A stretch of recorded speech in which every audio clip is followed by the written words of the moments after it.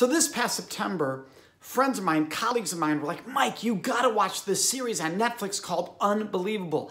It's incredibly powerful. It deals with sexual assault. You have to see it. Now, some of these people that were giving me this advice were people in this line of work.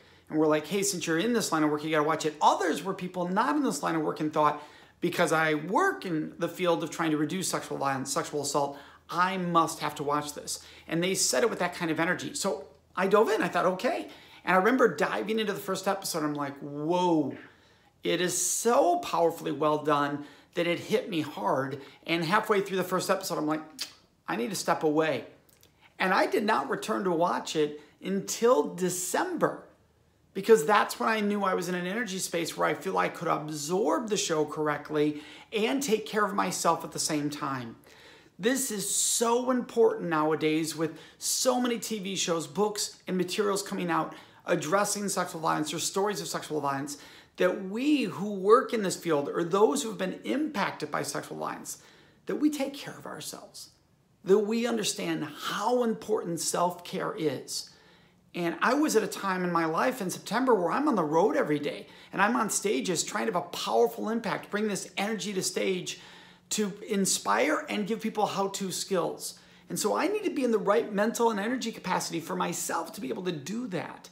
So I have to take care of myself mentally and energy-wise, spiritually, physically. And so what I consume, what I allow into my brain, when I have control over what I allow and don't allow, I want to make sure I'm allowing the right energy source in.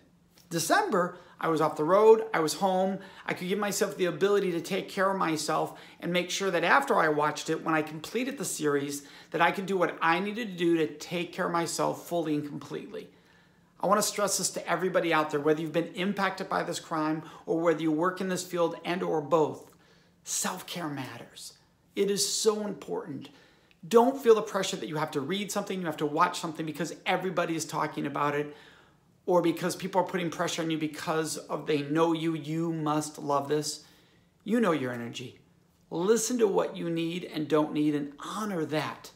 Everything we do is about choice, consent, and respecting.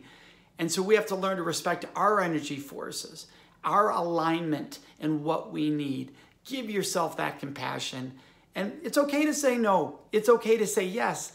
The important part is you choose what's right for you.